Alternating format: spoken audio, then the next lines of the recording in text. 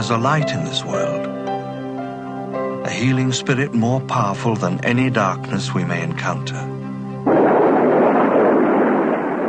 Beirut was under siege. The needs will be very great in West Beirut of many people. And I feel the church should be there now. That's right. Because we, um, we, we don't mix up in politics.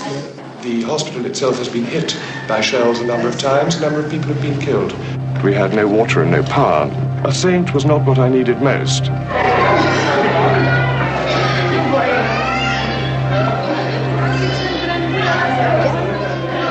And if you don't have that zeal to help the poor, to take the care of the leper and this and that, then we should pack up and go home. No need to stay. No need to stay. Somebody asked me, what will you do when there'll be no more poor in the world? And I said, we'll be unemployed. The reason for these pictures is so I can go to the United States and send medicine and help. No, but you must not risk this. I don't allow anybody to raise money nor ask in our name anything. At times, people don't seem to realize that she's human, and the demands on her are very great. Some people feel that you're almost like a living saint. How do you feel about that?